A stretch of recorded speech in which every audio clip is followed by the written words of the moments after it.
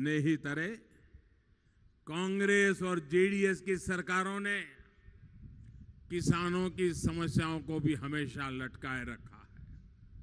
कांग्रेस के शासन में गन्ना किसानों का बकाया एक बहुत बड़ी समस्या रहती थी। लेकिन बीजेपी सरकार ने उसके स्थायी समाधान पर भी काम किया।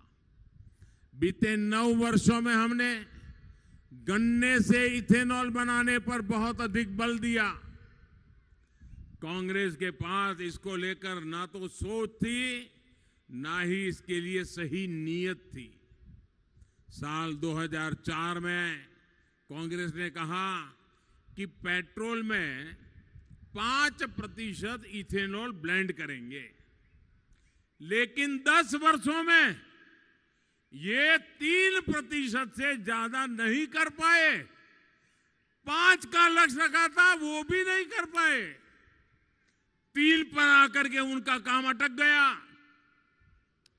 जबकि बीजेपी सरकार ने आपने इस सेवक को काम दिया, दस प्रतिशत ब्लेंडिंग का टारगेट भी समय से पहला पूरा करके दिखाया।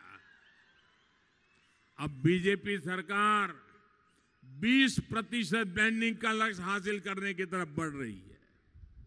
सहोदर, सहोदरी अरे, ज़्यादा इथेनॉल ब्लेंडिंग का मतलब है गन्ना किसानों को ज़्यादा पैसा मिलेगा। गन्ना किसानों को समय पर पैसा मिलेगा।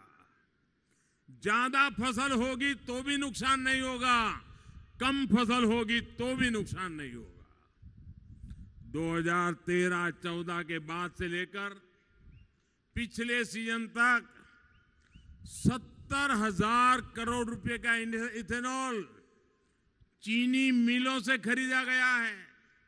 साथियों, कांग्रेस की गलत नीतियों के कारण गन्ना कोऑपरेटिव्स पर बहुत अधिक दबाव आ गया था।